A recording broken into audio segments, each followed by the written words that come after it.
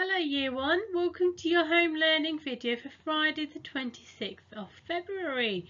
We will log on to Teams at 9 o'clock for our register. At 10 past 9 we will start with our phonics lesson.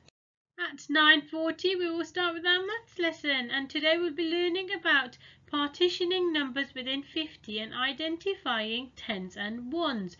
It'll be time for break between 10.30 to 10.45. At 10.45 we will log on to Teams for our English lesson. It will be time for lunch between 11.45 and 1 o'clock.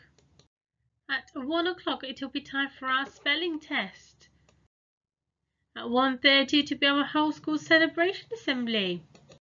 It will be golden time at 2 o'clock. It is entirely up to you how you use this time. You may want to play with your toys or have some fun in the garden or go for a walk. I will be logging on as I'll be making some thank you cards. This is an optional activity if you'd like to come along and join me on Teams at 2 o'clock to make some cards. I look forward to seeing you.